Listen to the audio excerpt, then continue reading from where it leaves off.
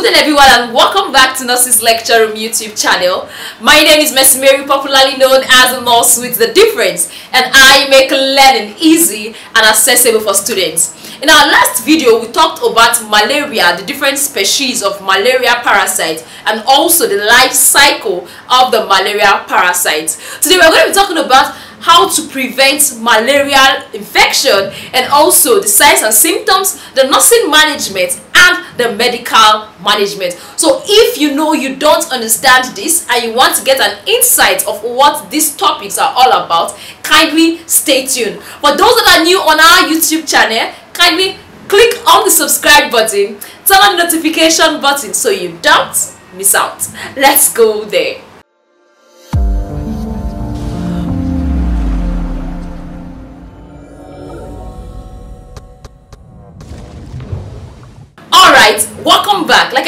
Said, today we're going to be talking about the prevention of malaria, the signs and symptoms of malaria, the nursing management and also the medical management of malaria. But the first thing we're going to be talking about is the prevention of malaria.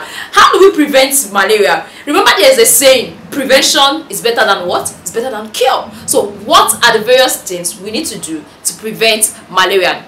So the first thing I have here is apply insect repellent. Have you heard about insect repellent? There are some insect repellent cream in such a way that when the mosquito bites you, it doesn't affect you. It, repels the mosquito, it drives the mosquito. So they used to rub when you're sleeping, especially when you know the area has a lot of mosquitoes in it. Then the other is wear long sleeve and long pants. It is advisable. It's looking strange but yes you have to educate your patient that they should put on long sleeve and long pants especially when they know they are going to be exposed with this malaria parasite. Then the other is that we are used to is spray insecticide. We have a lot of insecticides in the market. Some are more effective than the other. So it's advisable you spray you you spray your environment you spray your rooms so that you can sleep comfortably like a baby and wake up like a giant. The next morning. Then the other is clear nearby bushes. Clear nearby bushes.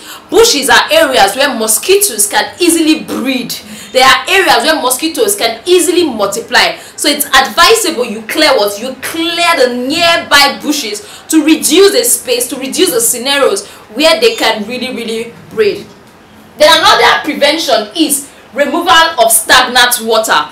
These are the things we are being taught in primary and secondary schools. You have to remove stagnant water. Wherever you see water gathering it could be in a pool it could be anything it could be cover of um, a bowl but just try as much as possible to remove stagnant water. So you will not create a place for the mosquitoes to breed because mosquitoes they breed effectively well in waters. That is why you see areas where there are a lot of pond water there's a lot of dirty water around. You see you see mosquitoes breeding around. So the best thing remove stagnant water clear your areas of stagnant water.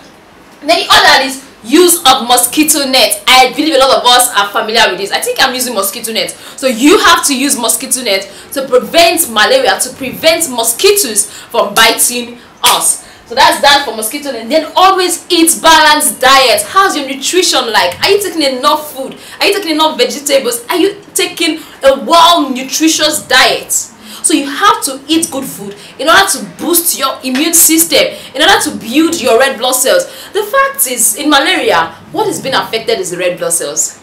So when the malaria is destroying your red blood cells, rupturing your red blood cells, if you are not taking enough nutrients or a well nutritious diet, it can lead to what? Anemia. So you have to eat well, you have to also stay healthy in order to prevent what? Malaria. Then also there's what we call this sulfadioxine pyrimethamine it's a preventive it's a prophylactic drugs for malaria. So you can actually give it to a prescribe to a patient especially for pregnant women. They normally give them some doses of um, sulfadioxine pyrimethamine to prevent malaria during the course of what? Pregnancy. So these are the little tips i have for you when it comes to what? The prevention of malaria not pregnancy sorry. The prevention of malaria hope that is clear and hope we are getting it if you have any useful tips on how to prevent malaria and you would like to share with us kindly drop on the comment section i'll be glad to learn from you today too so that takes us to the signs and symptoms of malaria how do I know my patient is having malaria? What are the signs and symptoms that my patient portray? So the first one is shaking chills and high fever.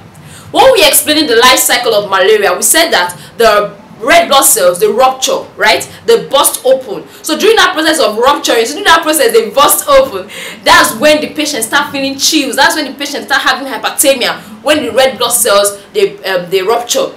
So the signs and symptoms of malaria we said was shaking chills and high fever. This patient will be sweating profusely. There will be profuse sweating. The patient will be having headache. Oh my head headache. You understand then there will be nausea and vomiting. And we all know that nausea and vomiting is what? Gastrointestinal disturbances. So you can get nausea and vomiting then abdominal pain. So patient go down with abdominal pain. My stomach. Then we have anemia. Like I earlier said anemia in the malaria the red blood cells are being affected so the red blood cells have been destroyed. And you know when there's reduced red blood cell in the body there's going to be reduced hemoglobin in the body and there's going to be reduced oxygen carrying capacity in the body. And that is resulting in what? Anemia. Then the other is convulsion. And we all know that when somebody is having hyperthermia there's an increase in body temperature. Definitely there's going to be what? An increase in the metabolic activities. And when that happens convulsion can take place. Then we have coma and bloody stool coma yes. Malaria can be that severe. I'm not joking here. Malaria can be very very severe that it has to get to a coma stage. You have to get to cerebral malaria. The brain has been affected. So malaria is not something you should use to play. It is advisable you treat as malaria as soon as possible when you start going down with the symptoms or when you notice your patient going down with the symptoms. Because malaria can lead to death as small as malaria that you think that you used to treat can actually lead to death so that is that for the signs and symptoms of malaria but before i go into the medical treatment proper we know our job I am a nurse, so I can't end my lecture without telling you the nursing diagnosis. So what are the nursing diagnoses for malaria? Can you start? Just think. From the signs and symptoms that are given here, what do you think are the nursing diagnoses for malaria? So the first I have, I can think very well. It's easy. High fever is already telling you that there's hyperthermia. Are we on track? There's abdominal pain, there's headache. It's already telling you that there's what? Acute pain. Then what do we have here again? Um, there is profuse sweating. No, let's not use that. There's nausea and vomiting. Most of the patients in malaria, sometimes they have anorexia. So we can apply imbalanced nutrition, less than body requirements, and we can also apply anxiety. But if I'm in the exam condition, what I'm going to write for malaria is going to be hyperthermia, it's going to be pain, and it's going to be anxiety. You know, anxiety is my favorite nursing diagnosis. So in terms of hyperthermia, how do we relate it? So it's going to be hyperthermia related to the activation of the thermoregulatory center of the brain, evidenced by what? Temperature of 38 degrees Celsius, evidenced by temperature of 39 degrees Celsius, evidence by temperature of 40 degrees Celsius. So you can actually drop that. Hypothermia related to what? The activation of the thermoregulatory center of the brain, evidenced by temperature rise or you can relate it to increased metabolic activities then the acute pain acute pain how are we going to relate the acute pain now all right acute pain related to disease process in short evidenced by patient verbalization then anxiety anxiety related to the cause of or cause of the disease evidenced by patient facial expression or evidence by patient asking um, too many questions. Then you can add deficient knowledge if you deem it fit. Hope you understand that um, nursing diagnosis. Then that takes us to the medical management for malaria. In terms of the medical management for malaria, generally we all know anti-malaria. We have a lot of anti-malaria drugs. We have Coartem, we have um, we have Coartem, we have Lumefantrine.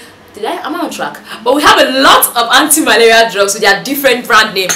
But the ones that are normally used are your and lumefantrine. They combine it together. But we have different brand names in, uh, in the society today. So we can give analgesics, especially for the pain. These analgesics and antipyretics help to reduce pain and also helps to reduce the body temperature. Now we are done with the class. What is your nursing intervention? What is your nursing management of malaria? From the signs and symptoms and also from the nursing diagnosis we gave, we said that there is what there is hyperthermia So as a nurse, you ought to be managing for what? Hyperthermia. And what is your nursing intervention for hyperthermia?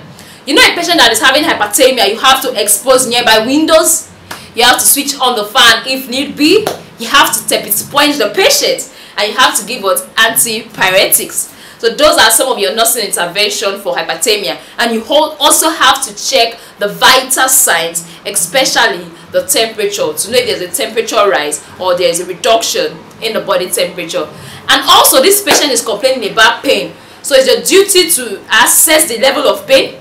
It's your duty to give a prescribed analgesics and it's also your duty as a nurse to provide diversional therapy, provide a quiet and calm environment for your patient when it comes to pain. And in terms of anxiety, you assess your patient's level of anxiety, you establish a good rapport with your patient, you encourage them to verbalize their fear, and you tend to help them better to explain the whole thing about this malaria hope this video help you understand what the prevention the nursing management and also the nursing um, diagnosis of malaria. Don't forget the prevention of malaria this is your duty to educate your clients about the prevention of malaria. So as a nurse even if you are forgetting everything don't forget what? Don't forget the prevention of malaria.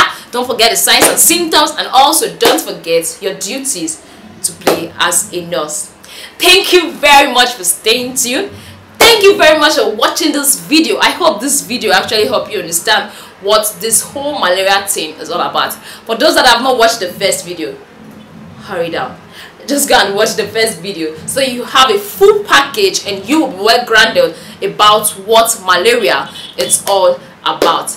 And also before i forget for those that have not registered for our classes on telegram seriously you have been missing a lot. I'm not joking. You have been missing a lot. All you have to do is to send a message to the whatsapp number showing on your screen and get registered today. When you register with us you are able to have access to all our voice notes in a various system. Cardiovascular respiratory digestive community research. You have access to all these voice notes with ease. With just one payment no renewal so for those that have not registered on our telegram platform kindly do so and have a lot of knowledge and have opportunity to ask your questions. And will also provide answers to these questions. Thank you and see you in our next video. Bye